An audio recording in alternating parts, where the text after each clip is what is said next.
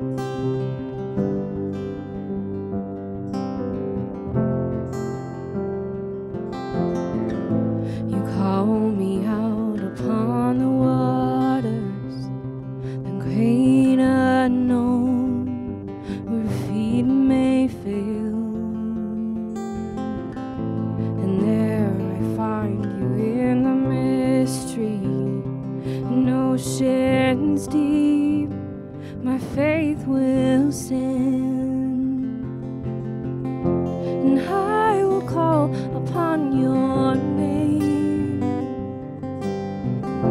and hear my eyes above the waves. When oceans rise my soul will rest in your embrace for I am yours and you are mine.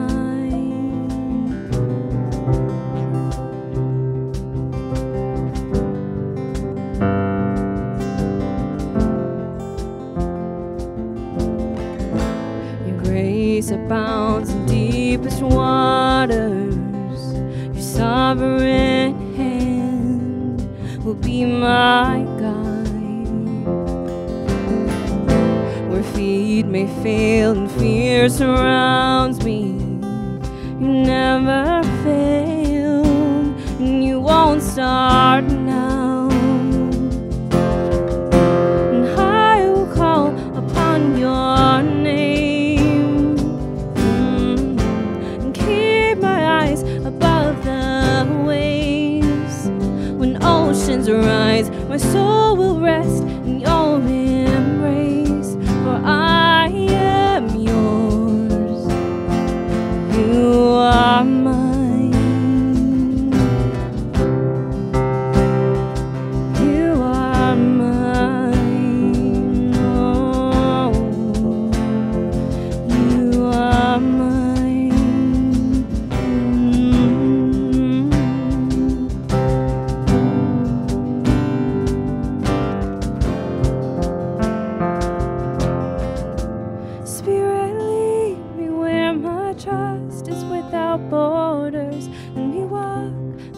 on the waters, wherever you would call me.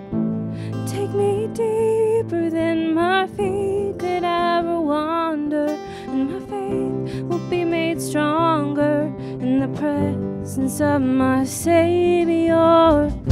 Spirit, lead me where my trust is without borders, and we walk upon the water.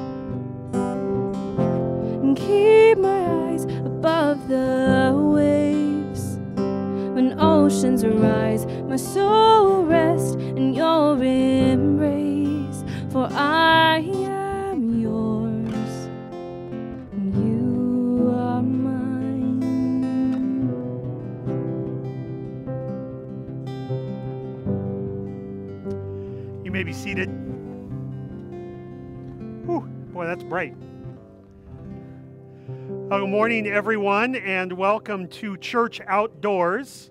It's great that we get to do this. I actually uh, got the idea from uh, a colleague of mine back in the Midwest, and they were advertising church in their parking lot. And I was trying to figure out why they would do that. And I talked to him, and he said they just like the opportunity to get outside during the summer in the mornings when in the Midwest it's a little nicer than by 2 o'clock in the afternoon. Uh, our reason for being outside is, uh, is not as, uh, uh, well, it was forced. They're painting the floor in the auditorium, and so they said we couldn't be in there this week. And I was like, well, what are we going to do? We could do it in the commons, but that just seems not as much fun. And so we decided, hey, we're going to get donuts, we're going to have coffee and juice, and we're just going to come outside and worship together. And God has blessed us with a fantastic day. I was a little nervous this week because we had a few mornings that started out gray and cloudy until about 11 o'clock, but what a great day God has blessed us with. In fact, dare I say, this is the day the Lord has made. Let us rejoice and be glad in it. Thank you. That was good. Uh, reading this morning, as we are concluding our walk through the book of Ephesians, comes from one of uh, Paul's other letters in Romans chapter 8. And Paul talks about suffering and he talks about future glory, present suffering and future glory. But then he talks at the end of this about prayer as well. Prayer is a little bit about what we are talking about today as we conclude our discussion on spiritual warfare. And in Ephesians, I'm sorry, in Romans, Romans chapter 8, beginning in verse uh, 18, Paul writes, I consider that our present sufferings are not worth comparing with the glory that will be revealed in us. For the creation waits in eager expectation for the children of God to be revealed.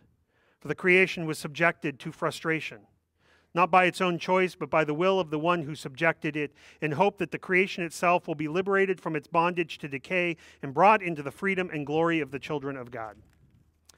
We know that the whole creation has been groaning, as in the pains of childbirth, right up to the present time. Not only so, but we ourselves, who have the first fruits of the Spirit, groan inwardly as we wait eagerly for our adoption to sonship and the redemption of our bodies. For in this hope we were saved. But hope that is seen is no hope at all. Who hopes for what they already have? But if we hope for what we do not yet have, we wait for it patiently. In the same way, in the same way, the Spirit helps us in our weakness. We do not know what we ought to pray for, but the Spirit Himself intercedes for us through wordless groans.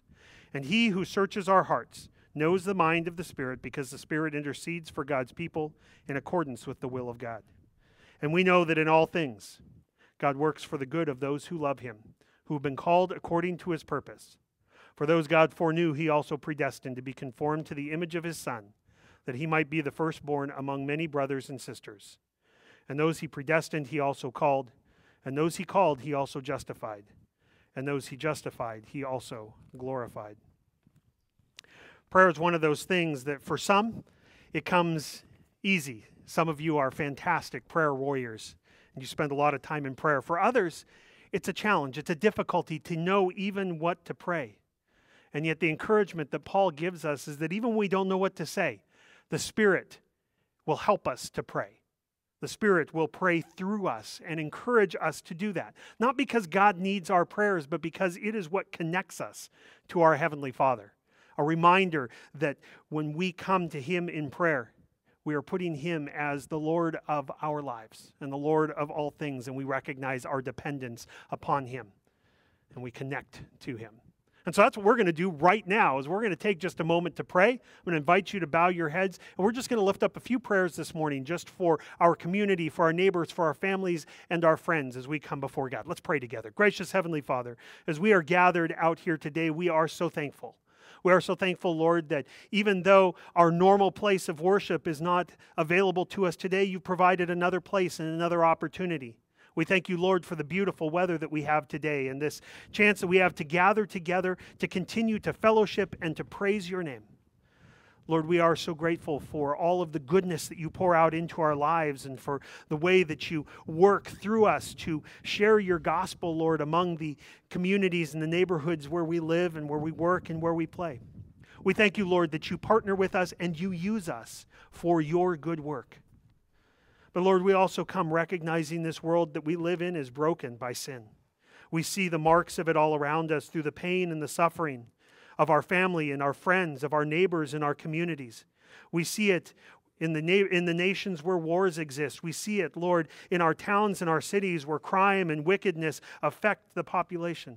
We see it in the brokenness of those who are homeless or battle with mental illness or disease. Lord, we see it in the brokenness that exists in families and relationship, in relationships.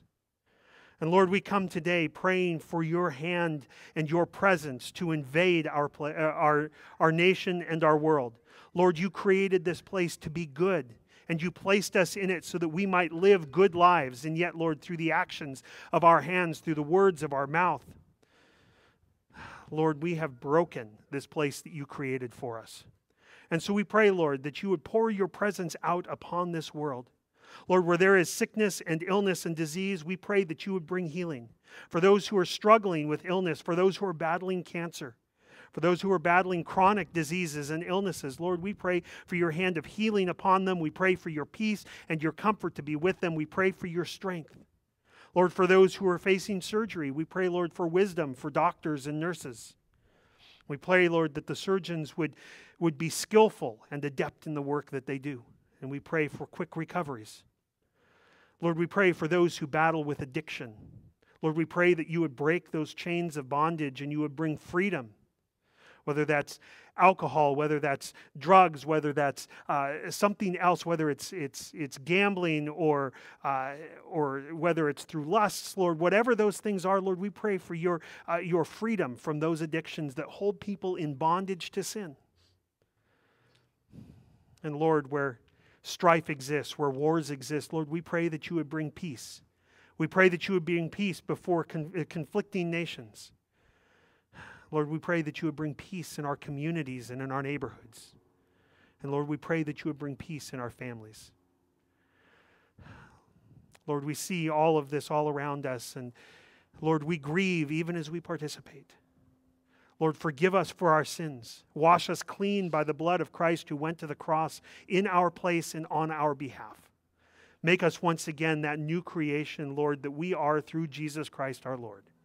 We lift all of these prayers up to Him, praying together as He has taught us to pray. Our Father, who art in heaven, hallowed be thy name. Thy kingdom come, thy will be done on earth as it is in heaven. Give us this day our daily bread and forgive us our trespasses, as we forgive those who trespass against us. And lead us not into temptation, but deliver us from evil. For thine is the kingdom, and the power, and the glory, forever and ever. Amen.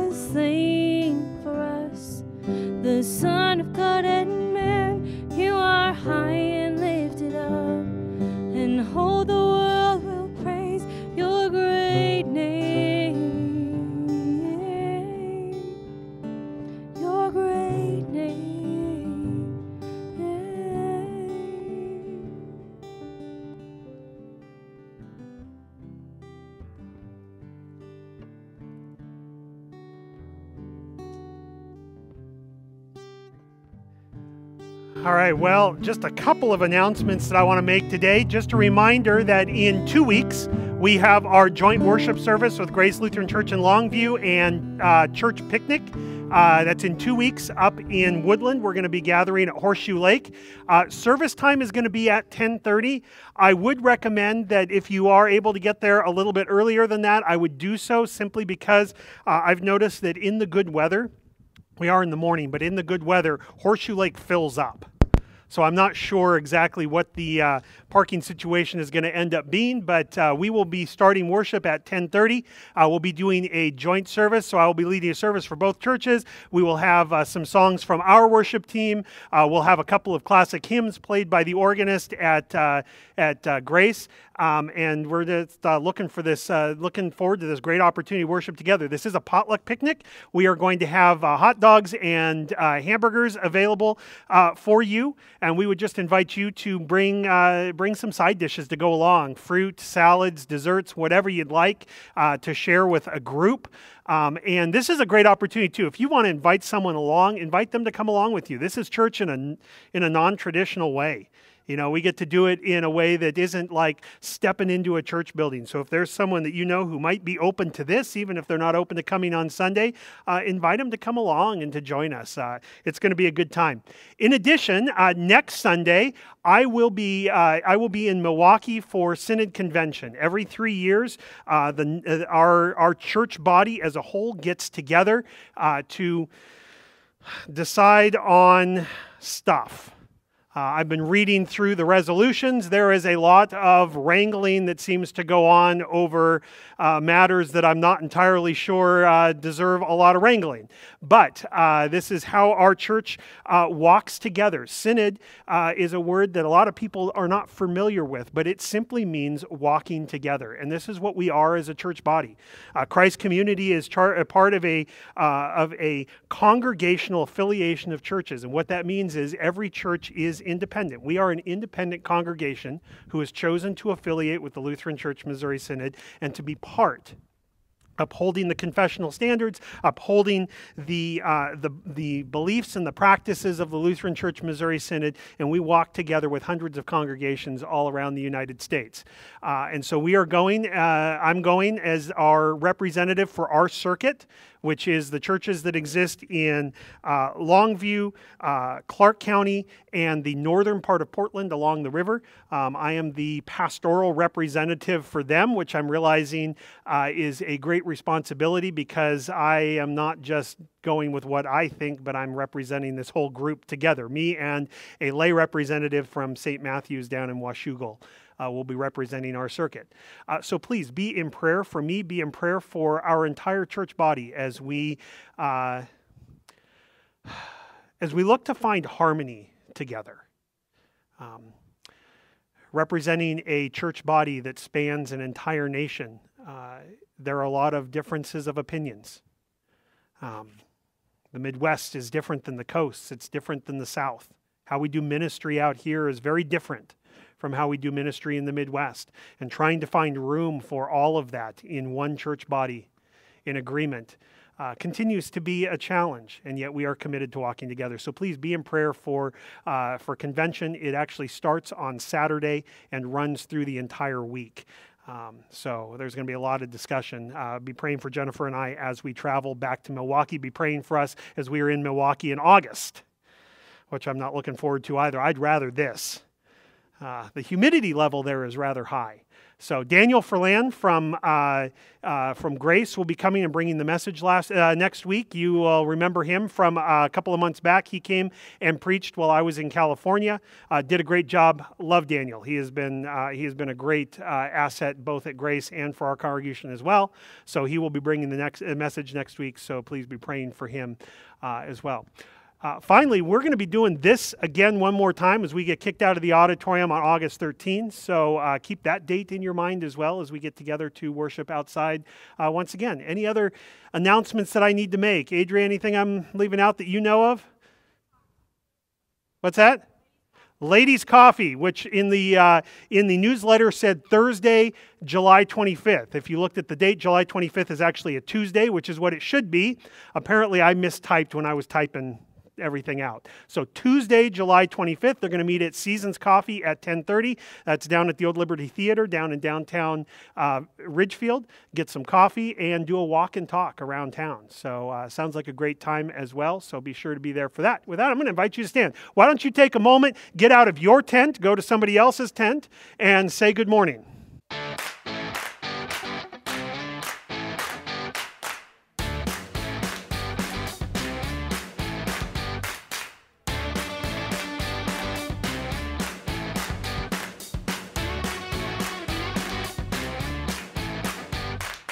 All right, well, good morning, everyone. The day that you have been waiting for is finally here. After three months in Ephesians, we are at the finish line. This letter that we have been studying has covered a lot of ground. We spent five weeks in the beginning just on the topic of identity. And what I hope we all see is that identity has been a struggle not just in our time, not just since Jesus, but going all the way back to the Garden of Eden. Adam and Eve were created as vessels for God's love. Their identity was rooted in the Spirit of God that they shared when God breathed His Spirit into Adam to bring him life. And then Eve was created out of Adam so that that same Spirit would bring her life as well. And they were made in God's image. Both of those things are still with us. It's meant to be the core of our identity. But Adam and Eve rejected their created identity and instead they sought to create their own. This is what happened in the garden. From that moment, then, identity has been a battle. This isn't a new thing. When we look around and we see struggles with identity, with who we are, whether that's with sexual identity, whether that's with uh, identity through uh, what you do or. Um, or, or your, your successes or whatever. This is not something that's new. This is something that's been going on right from the very beginning. Identity has been a battle. All these generations later, we still share the same breath of life that God gave to Adam. We still carry the image of God, but we wrestle with what defines who we are. When Jesus came into the world, this was the moment that God really set as the moment that He would help us clearly understand the core of our, our identity. In John 15, 5, Jesus says, I'm the vine, you are the branches. If you remain in me and I in you, you will bear much fruit. Apart from me, you can do nothing. And Jesus is telling us there that He is the core of who we are. Branches cannot exist without the vine, branches are useless without purpose. But when we remain in Jesus and Jesus remains in us, what happens is everything clicks. We bear fruit as the scripture says, which is the purpose for which we were created, to live out the characteristics of God. This is what Jesus means by fruit, by the way, that we would be like Him. When we're connected to the vine, when we live out our true identity as children of God, when we let Christ be the center of who we are, then how we live and how we act becomes a witness to the God who is at the core of our being. And this is what we mean by identity.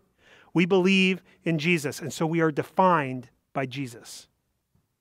I'm not defined by my sexuality. I'm not defined by my mistakes. I'm not defined by the abuse that I experienced or by my family of origin or by my abilities or my failures. So many people let things like success define who they are. They present themselves to the world with an identity that they have created. But what Paul is trying to tell us is that when we build our identity on our success, we're telling God that we can handle things for ourselves. And this identity that we create out of our abilities, it actually gets in the way of depending on God and making Him the center of our lives. Same is true of our failures. There's a persistent belief among many people that what we do, that what, what they have done in their lives makes them unlovable. It makes them unworthy. And they let that stand as a barrier, never approaching God because they believe that God wouldn't want them.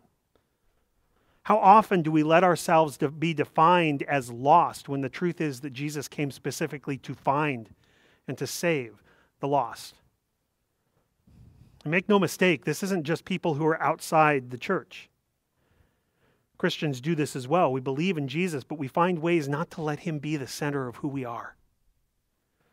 So, fast forward to the end of Ephesians, we find ourselves in a topic uh, that we've been studying now for several weeks. We've been looking at this topic of spiritual warfare, the fact that we there is an unseen battle that's going on all around us. It's unseen, it's invisible, but it's very real. This battle has been raging since the time of Adam and Eve in the Garden of Eden, when the serpent, who is the enemy of God, whispered to Eve, and so doubt and confusion about God's promises and God's rules. And we have to be aware of this battle. We can't ignore it. We can't pretend that it doesn't exist because if we ignore it or we dismiss it, we play right into the enemy's hands. We let him gain the high ground because he wants us to act like there is nothing going on.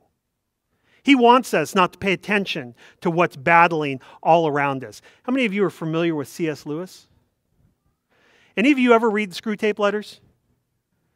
No? If you have not read the Screwtape Letters, you need to get a hold of that book and read it. It's not very big, it's smaller than your Bible. Okay? It's only about 120 pages or so. It's not a big book, but it is a dialogue between two of Satan's demons a senior demon by the name of Screwtape and his young nephew and apprentice, Wormwood. And throughout this book, this senior demon, this Screwtape, is counseling his young nephew and how to properly approach humanity. This is considered a satire, but uh, throughout the whole thing, C.S. Lewis is making a comment, a, a running commentary on what it is that draws humanity away from God. So, as Screwtape counsels Wormwood in dealing with his patient, this human soul that Wormwood's expected to uh, run, uh, lead astray. In one of the moments of counsel, Screwtape says to him, he says, I, the devil, they call, C.S. Lewis calls the demons devils, and he says, I, the devil, will always see to it that there are bad people. Your job, my dear Wormwood, is to provide me with people who do not care. What C.S. Lewis is saying here is he's saying through this dialogue between these two demons that one of the greatest tools of the enemy is to not get is to get us to not care that he exists. To get us to not care that there's a battle going on. Lewis is reminding us that our enemy is an enemy of distraction and confusion, and his job is to convince us that we don't know what we think we know, and that even if we know, we shouldn't care. We ignore the unseen battle, the enemy wins. This is why Paul addresses it so bluntly and so clearly at the end of Ephesians. The very battle for our identity is raging just out of sight all around us, and we are the battleground. The enemy fights for our souls, and he'll use every trick to seduce us away. And Paul tells us that we can't be ignorant of this because if we are, we fall into the hands of the devil. We commit the same sins that Adam and Eve committed in the Garden of Eden. And we allow ourselves to be distracted away. Our final passage in Ephesians, Paul brings up a final topic that is really key to dealing with spiritual warfare, to being successful in the midst of this battle that's going on around us. Last week we talked about the armor of God that we are called to put on, and I, I'm not sure that put on is the best way of explaining it because put on seems like it's something that I pick up and I put on myself. But this armor that God gives us isn't just armor that God creates, it is God's own armor that He gives to us. And really, a better way of saying put on should be receive. Allow God to put it on you. Do not be opposed to the armor that God wants to equip you with so that you are prepared in the midst of this battle. And that's what we talked about last week. But this week, Paul talks about the part that we get to do, the part that we have where we are involved in Ephesians chapter 6, verses 18 through 20. He finishes and he says, And pray in the Spirit on all occasions, with all kinds of prayers and requests. With this in mind, be alert and always keep on praying for all the Lord's people. Pray also for me, Paul, that whenever I speak, words may be given me so that I will fearlessly make known the mystery of the gospel, for which I am an ambassador in chains. Pray that I may declare fearlessly as I should. So, Paul concludes this discussion on spiritual warfare by telling us to do what? He tells us to pray. He tells us to get out there and to pray in all circumstances and in all situations. And I have to wonder, it, gets, it causes me to think a little bit how do we treat prayer? The Bible makes numerous references to the importance of prayer, to the importance of it for our lives. But the question that I have, and the one that I would ask each and every one of you, is how much of your life is devoted to prayer? I've known some of you for quite a while, and I know some of you who are incredible prayer warriors and spend a significant amount of your time in prayer. But I think for a lot of us in the church as a whole, prayer is something we know is important, but I have to wonder at times how much of our lives are devoted to it. I'm not saying that we're walking around spending all day in prayer, but how much time do we truly devote to connecting with God through it. I approach this topic with a fair amount of humility because, as a pastor, I think it's expected that I should be really good at all things of faith. But I have to confess, I struggle with prayer. Not because I don't think it's important, not because I don't see the value in it, but because for some reason, for some reason, it's an area that I struggle with making it a regular part of my life. I'm used to getting in on uh, in on Sundays in church, and we pray in church. You know, I'm used to times when I find myself in moments of need, taking time out to pray. And I think that's true for a lot of people we get to the point where we have something where we need or we, we're in the middle of a struggle or we have, we have something that is affecting our lives in some way. And in that moment where we go, gosh, I just can't handle this on my own, that's when we turn to God in prayer. But Paul is telling us that in the midst of this unseen battle that's going on, we can't let prayer be the thing that we do when we reach the point where we can't do things on our own. But instead, prayer should be part of our regular lives. It should be something that characterizes our waking up and our going to sleep in the middle of our days, that we are in this communication with God, because prayer is not simply about bringing our needs to God. Prayer is not about just trying to let God know what's, what's going on and what we need from Him, because God already knows. Prayer is not something that God needs from us, but prayer is something that we do because we need it. We need it so that we are connected to God. It puts us in this place of a proper relationship with our Lord. When we come to God in prayer, we are immediately saying that we are not enough. And what Paul's telling us is we need to do this more often than just when we recognize a specific need that we have. He says, and pray in the Spirit on all occasions and with all kinds of prayers and requests.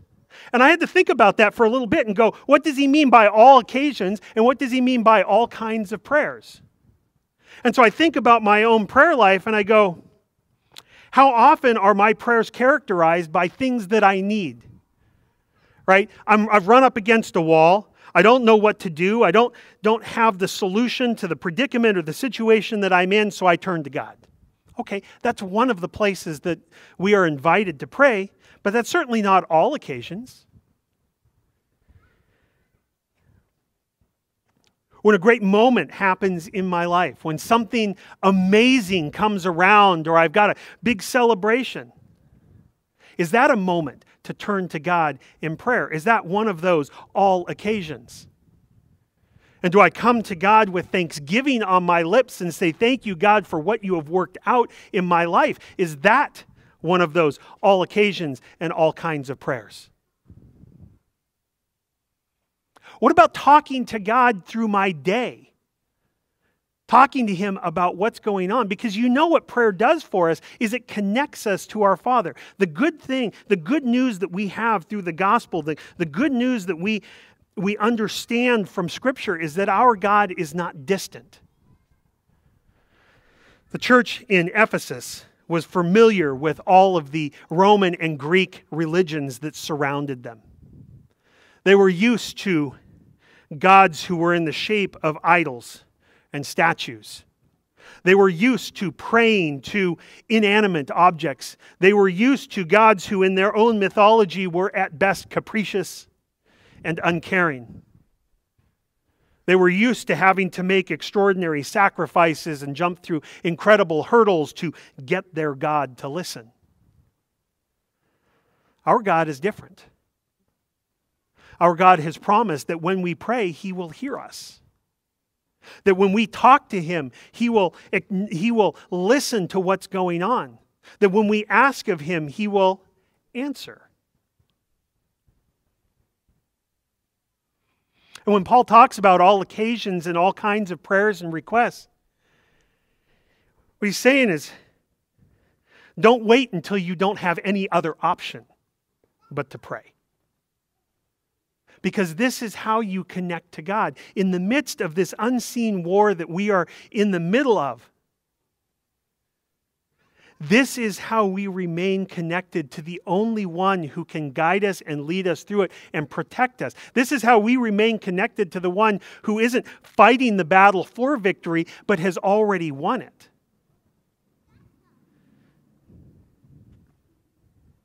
Paul goes on, he says, with this in mind, praying on all occasions and all kinds of prayers and requests, with this in mind, be alert and always keep on praying for all of the Lord's people. And so, what he does is he invites us and he challenges us not just to focus on ourselves in our own prayers. For many of you, I know that you spend a lot of time praying for other people. Some of you have lists of people that you pray for, and I imagine that that list grows more than it shrinks.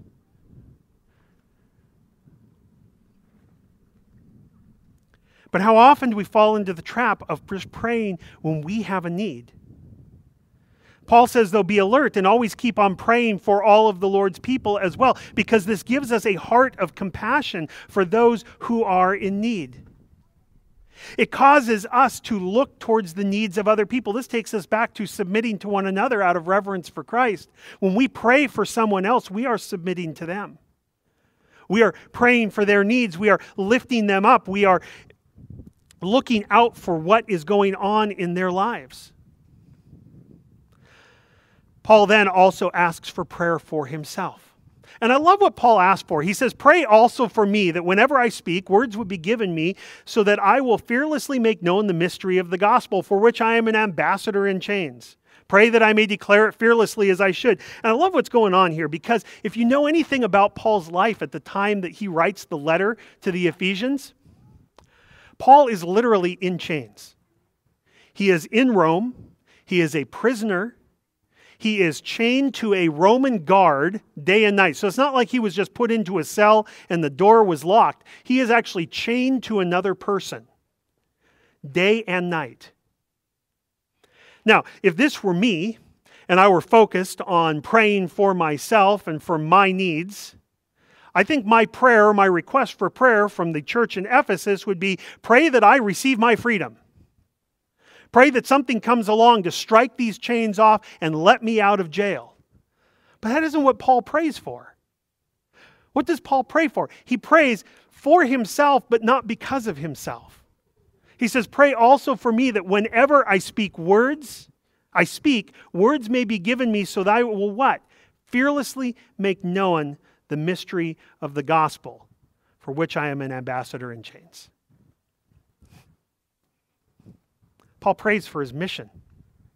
He, pray, he asks for the Ephesians to pray that he would fearlessly be a witness for God, that even chained up to a Roman soldier, even stuck in prison, he would still have the opportunity to fearlessly proclaim, not just declare the word of God, but to do it without fear, without shame, without any sort of restriction on his message, on the message of the good news.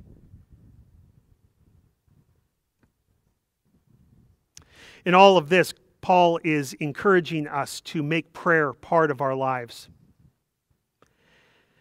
Because in the unseen battle, there are things going on around us that we can't see. And not only are we called to be like Paul and be witnesses of the gospel, but we are also called to be aware of what's happening around us.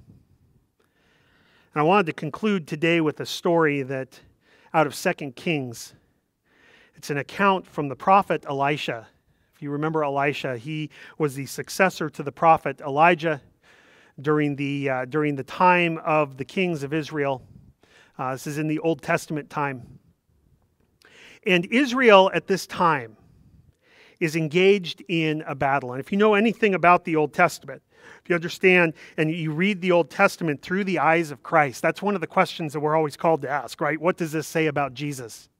And the Old Testament is meant as God interacts with this nation that He is creating, this nation of Israel that He is building.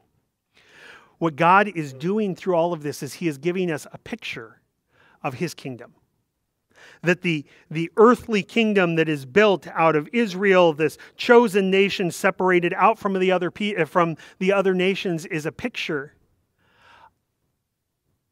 of the people of God, the followers of Christ, as a nation separate from the rest of the world. And so when Israel goes into battle in the Old Testament, it speaks of the unseen battle that goes on in the world or uh, that goes on outside of what we can see. The, the battles that Israel faces are meant to speak to the, uh, to the ongoing battle of God and his followers against the enemies of God. And so, in this event, Israel is at war with the nation of Aram. And the armies have been surrounded by the Aramites. And 2 Kings chapter 6 says, When the servant of the man of God, so this is the servant of Elisha, got up and went out early the next morning, an army with horses and chariots had surrounded the city. You can almost imagine how this servant must have felt. I mean, the terror and the fear in this moment. We're going to lose, is what he thinks. We are overwhelmed. There are not enough soldiers in Israel to defeat the enemy that have come against them. And very much in this moment, as we look at this, this is the same feeling I think that comes upon us when we truly grasp the spiritual war that we are in. Is this feeling of there are so many enemies who are arrayed against us, and oftentimes we see those enemies just in the physical world around us. There are so many who are arrayed against us, so many who are coming who are opposed to faith, who are opposed to Jesus, who are opposed to the church. There's so many enemies that we are going to be overwhelmed. We're not going to have the, we're going to lose, we're going to lose everything.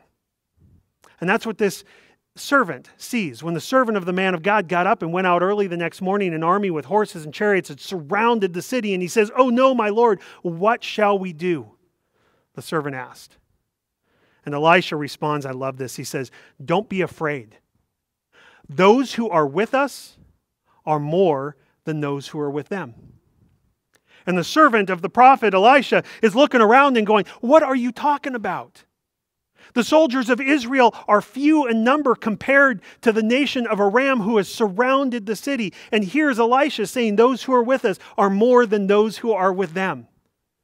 Any of you read this story? You know where this goes? And Elisha prayed, Open his eyes, Lord, so that he may see. And then the Lord opened the servant's eyes, and he looked, and he saw the hills full of horses and chariots of fire all around Elisha. What an incredible moment that is. Where this servant who was terrified that he was about to be overwhelmed had his eyes opened and he saw the legions of God who were unnumbered.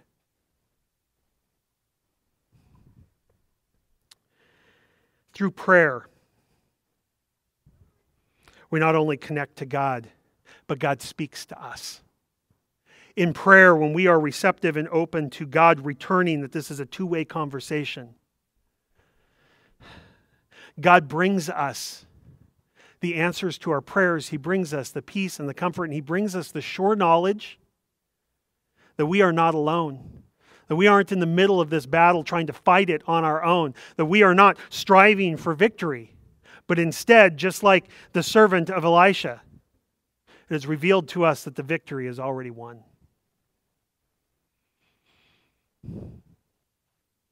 We can't be ignorant of the battle that's going on around us. We can't be ignorant of what's happening. We can't pretend that it doesn't exist. We can't be indifferent. Because when we are, we let the enemy win.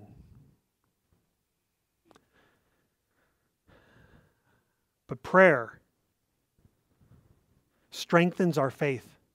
Prayer connects us to God. Prayer puts us into a place where we are open to hearing back from God.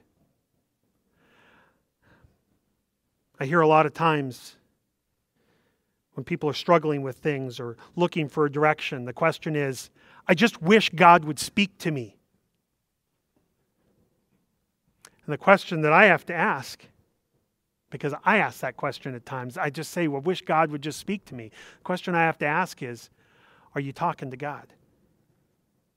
Are you taking time to put yourself into a posture of prayer, to seek God out, and then be willing to hear from Him in return? This battle that we face is not an impossible one. It's impossible for you and for me, but it's not impossible for God. In fact, it's already done. We just have to have the courage to trust that God is in control. Our identity is rooted in the faith that we have in Christ, and the faith that we have is strengthened through our prayers to God. So, I'm going to do as we conclude this is I'm going to pray.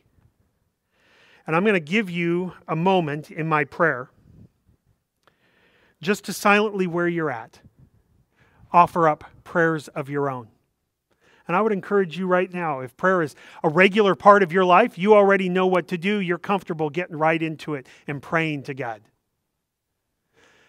But if this is something that you have struggled with, I would invite you to take that 30 second window and just ask God to help you become better at prayer.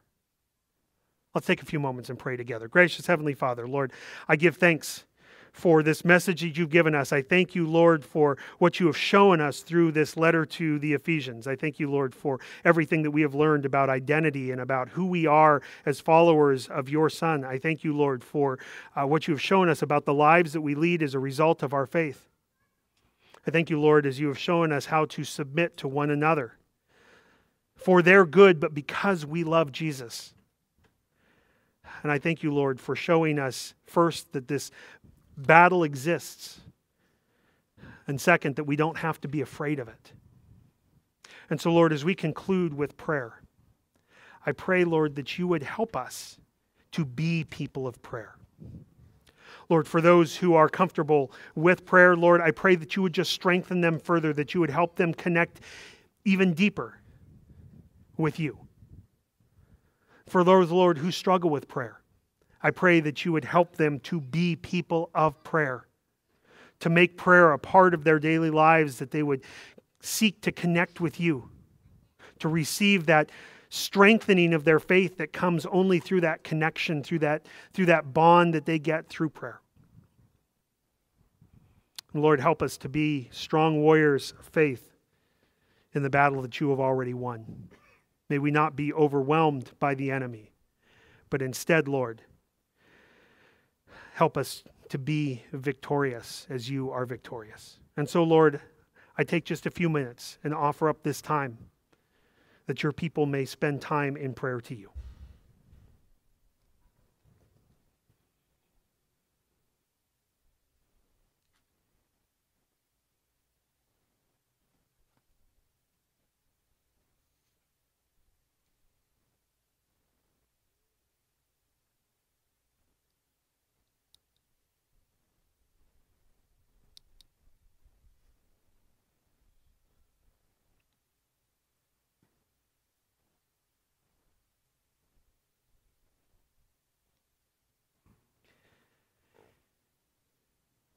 Into your hands, O Lord, we lift our prayers, trusting in your mercy and your grace.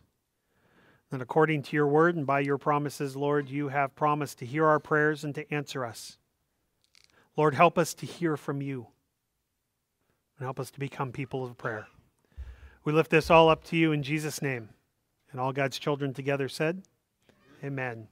And now may the Lord bless you and keep you. The Lord make his face shine on you and be gracious to you. Lord, look upon you with favor and grant you his peace. Amen. If you would like to stand, you may. If you'd like to stay seated, you may. We're going to sing one more song as we go out.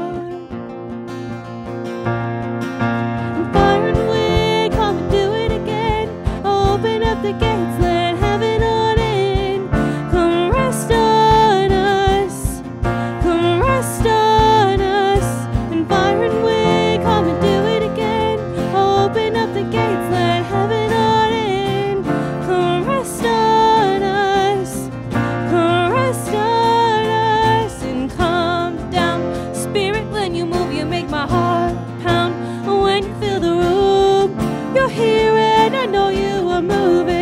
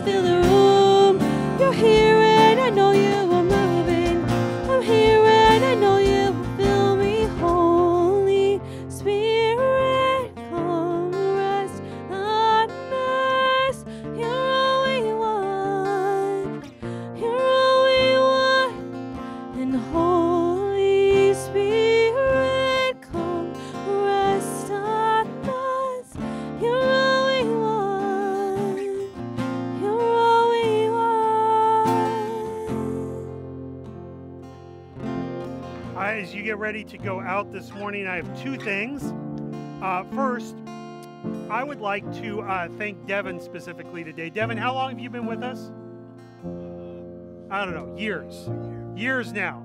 And for years, Devin has been telling me with a completely straight face that he doesn't uh, he doesn't do cajon, which is that thing he's sitting on. It's completely straight face. Now I don't do percussion. Play drums. And uh, Devin, two weeks ago, confessed he's like, you know, I can do cajon. So uh, we didn't just grab it to say, hey, Devin's now confessed, and that's where you're sitting. But in in this environment and in our picnic, we are so grateful that uh, Devin for finally fessing up and being willing to step into that, so that uh, it makes our setup a little bit simpler for this. Uh, in addition, uh, so thank you, Devin, for that. By the way, thanks for stepping up. Um, uh, in a couple of weeks, we are going to have a brief congregational meeting after service. Did we pick an actual date?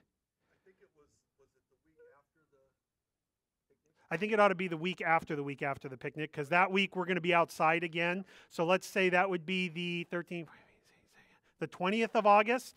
We're going to have a brief one because we need to make some officers of the board changes. Uh, we had uh, we had had um, kind of a setup, uh, and we are going to be making some changes. Uh, Mike was uh, waiting for uh, Paul Priggy to be back on both his feet. Um, and Paul has agreed to relieve Mike as chair, and Mike is going to step back to vice chair. Um, and uh, Matt had come in as uh, treasurer, but in conversation with Ron, Ron is going to actually go back to being treasurer, and we're going to bring Matt on in another spot, and we may have one other change as well. So we've got a few votes to do. That's all we're going to be doing. So that'll be on the 20th after worship. Uh, last thing, if you can help us strike this, this would be great. We've got a cart for these chairs we brought out of the auditorium where you get all the canopies down, get stuff out. There are still donuts over there, still coffee. Uh, go enjoy that. Go in peace. Serve the Lord.